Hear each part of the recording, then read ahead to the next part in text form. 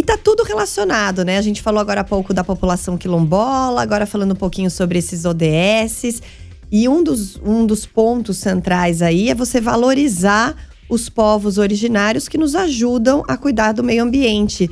E agora a gente tem uma participação super especial aqui no Nova Manhã, diretamente do Acre, do jornalista correspondente da TV chinesa CGTN no Brasil, colunista do Mesa para Dois, meu parceiro no Mesa para Dois no Descobertas do Cabral, que é o Paulo Cabral. Tá fazendo o que aí e de onde exatamente você fala, Paulo? Bom dia para você.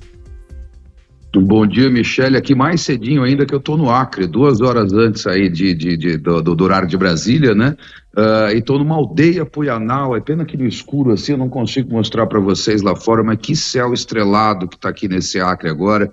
Eu estou aqui perto do município de Mâncio Lima, uh, também perto de Cruzeiro do Sul, né, já distante um tanto, 600 quilômetros mais ou menos da capital Rio Branco, e estou aqui numa comunidade dos indígenas do povo Puianaua, com um grupo organizado pelo Creators Academy Brasil de 70 eh, influencers, criadores de conteúdo, alguns artistas também, que foram trazidos para cá para ter esse contato com a Amazônia, com o povo Cuianaua. Eh, e a ideia por trás do projeto é a seguinte: para proteger a Amazônia, para entender a importância da Amazônia, eh, precisa vir para cá, precisa sentir a floresta, enfim, a gente nas cidades ouve muito, como a gente estava falando, vocês falavam agora dos objetivos de desenvolvimento sustentável, de meio ambiente, mas a ideia do, do, do, do, Creators Academy, desse projeto, é que entender a Amazônia tem que ser sentir a Amazônia. E a ideia, então, é trazer essas pessoas para cá para que, a partir dessa percepção, a partir dessa sensação,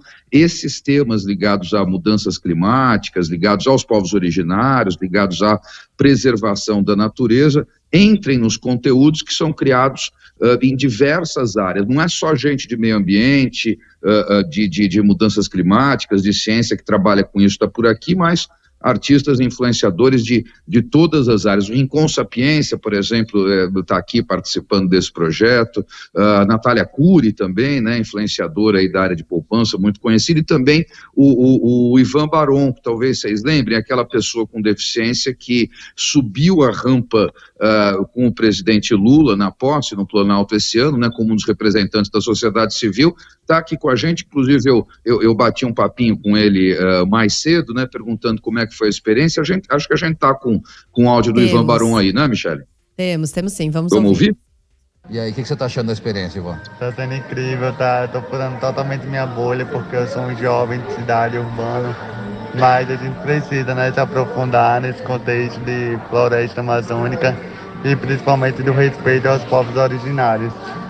É interessante como o Ivan fala essa coisa de furar nossa bolha, né? Porque de fato é outro lugar, é outra uh, cultura, é outra maneira de se relacionar. Uh, e o povo Puianaua está num processo muito importante de reconstrução. Sabe que aqui no Acre tem uh, diversos povos indígenas que foram completamente dispersados nas chamadas correrias nos anos 20 e 30, que foi quando uh, os seringais começaram a se desenvolver por aqui, aí uh, seringueiros, muitas vezes armados pelos uh, coronéis da época aqui, expulsaram os indígenas de suas regiões, os dispersaram completamente, eles acabaram abandonando essa identidade indígena porque era algo muito perigoso na época, eles eram atacados por isso, não podiam falar os seus idiomas, se dispersaram completamente. Aí, a partir dos anos anos 80, alguns desses povos aqui do Acre começaram a novamente se reunir, a conseguir uh, voltar esse povo, buscar suas tradições. Então, por exemplo, os uh,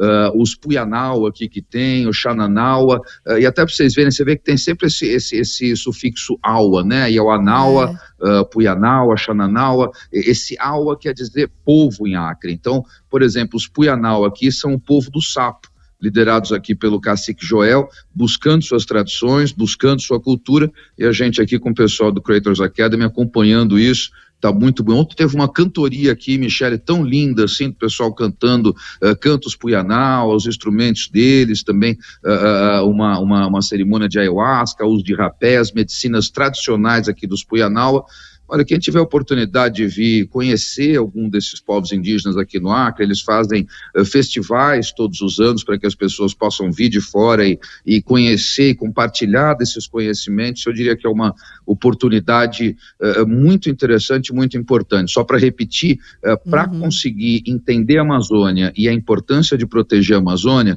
é muito importante vir aqui sentir a Amazônia, sentir esse calor, ouvir esse barulhinho daqui, viu? Tanto animal aqui em volta de mim, consigo perceber os sapos, os grilinhos, olhando para cima ali fora dessa, dessa tenda onde eu estou, aquele céuzão uh, muito estrelado. Olha, gente, quem Demais. puder, não deixe de vir para a Amazônia. Eu concordo com o pessoal daqui que é o jeito de proteger é sentir a floresta. É isso. E o Paulo Cabral, que madrugou, vai ver o nascer do sol hoje aí no Acre. Agora você falou sentiu calor. E essa blusa de. É blusa de lã que você tá? Tá frio aí, Cabral?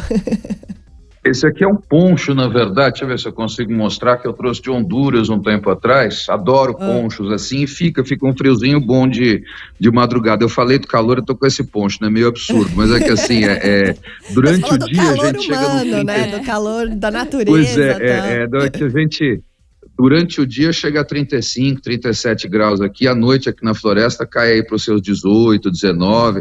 Então, sim, temos essa variação. Falei do calor porque a gente passa o dia inteiro no calorzão, mas de madrugada dessa boa refrescada. É isso, ó. E se você tiver fácil aí, manda pra gente algum vídeo, algum desses sons aí que você falou que rolaram ontem. Aí, quem sabe a gente fecha o Nova Manhã com essa homenagem, né? E mostrando um pouquinho dessa cultura do povo Puyanawa. Paulo Cabral. Se você ainda não ouviu, ouça no Mesa para Dois. Inclusive tem no Spotify aí, procura aí Mesa para Dois Descobertas do Cabral. Ele corre esse mundão, esse Brasilzão aí, sempre traz causos, histórias muito interessantes pra gente, sempre com fundo ali, um aprendizado dele, nosso também, uma reflexão. É muito legal e é muito bom tê-lo aqui também no, no Nova Manhã, Cabral. Boa sorte aí, bom trabalho para você e boa imersão nessa cultura tão rica que a gente tem aí dos povos eh, originários. Beleza, gente. Obrigado e até a próxima. Valeu, valeu. Cabral Valeu. madrugando lá agora, não são nem 5 da manhã não no é? Acre, ele aqui apostos pois com a gente. É, muito bom, é muito bom. Aí.